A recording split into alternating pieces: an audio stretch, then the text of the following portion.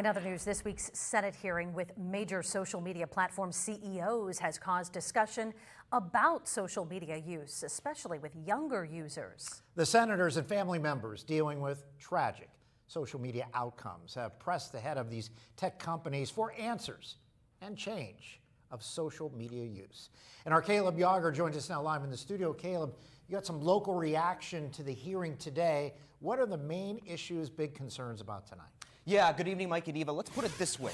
According to the U.S. Surgeon General's advisory in 2023, nearly 95% of kids from 13 to 17 years old reported using at least one social media platform, with more than a third admitting to using social media constantly.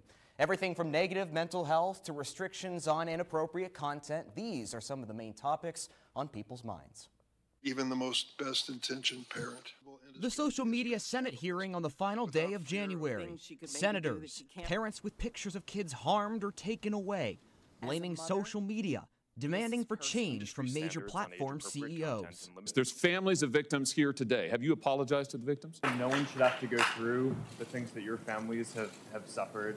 Well, it's the typical dog and pony show. No one is going to go wrong by yelling at Mark Zuckerberg. He's that disliked. Professor Brian Sheridan at Mercyhurst University discussing his reaction to the Senate hearing, which was, in his opinion, unproductive. Could there be things done or should there be things done? Yes. But yelling at the CEOs, not going to get that done. It is really difficult to regulate without violating here in America the First Amendment. You're talking about pause practice. Professor Sheridan teaching his mindful communications course to a generation that grew up with social media. How does social media make you feel when you use it?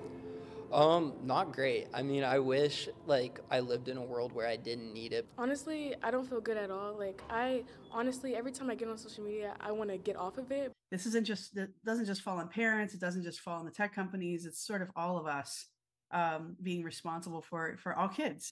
Camille Dempsey from Penn West Edinboro explaining that it is a collective effort, one that may take more than just one solution. I think there needs to be more outreach programs more training for families so that they understand what they're looking for, even things like um, parental controls.